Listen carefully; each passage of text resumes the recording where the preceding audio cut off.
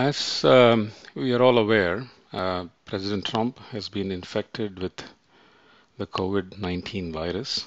Um, uh, it is a serious uh, issue. And uh, first of all, I pray and I hope that uh, President Trump recovers uh, quickly. And as soon as Mother Nature will allow it to be so, I pray for his well being. Uh, in this context, amidst all of this, um, a lot of things have been said, and one of the, one question caught my mind, which is I will summarize it uh, or capture it generically to avoid any controversy. The question is, is it morally wrong for a person to hope for another person to die? Or, in other words, is it morally wrong for us to wish ill on others? I think it's an interesting question. Uh, my answer is no. Uh, it um, no, and um, it. Uh, my answer is no, and morality is quite a different thing from personal belief. It also means that whoever wishes ill on another is uh, simply in a dark place. It doesn't mean anything more. So by definition, personal beliefs are meta beliefs. They are absolute. They contain no such thing as morality in them. There is only one reason to hold a personal meta belief. Uh, that reason is to find deep and lasting inner peace. There are no other reasons. So, given this, uh, it would be counterproductive to hold a personal belief that wishes ill on another person. It would uh, simply lead to more personal suffering and not peace.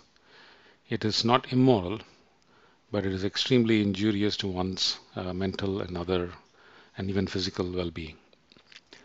The morality enters the picture here, or morality enters the picture only because you perceive that there is more than just you in this world. So morality becomes a necessity and a way to negotiate and transact uh, with the relativistic world. So in order that we can ensure our own survival. Morality is an ever-changing landscape. It is uh, negotiated in the context of a situation and it's propelled by the momentum of history.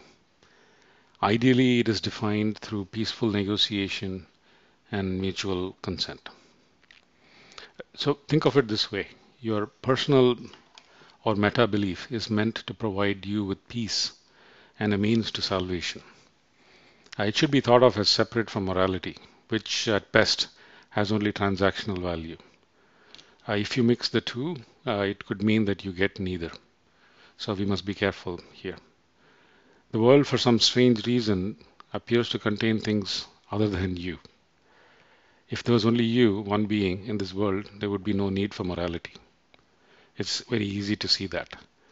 Uh, so morality is just a tool to deal with the fact that we experience many things in this world instead of just one.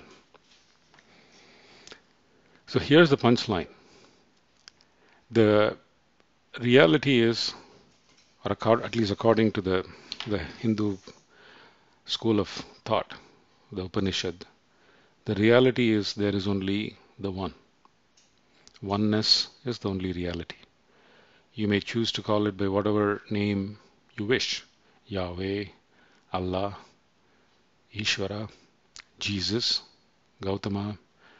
You can call it mother, father, child. um, but to be able to see through this persistent illusion of many in this world, it takes a lot of effort. In Hinduism, we call it the sadhana, a process which guides us to the spot of gold at the end of the rainbow.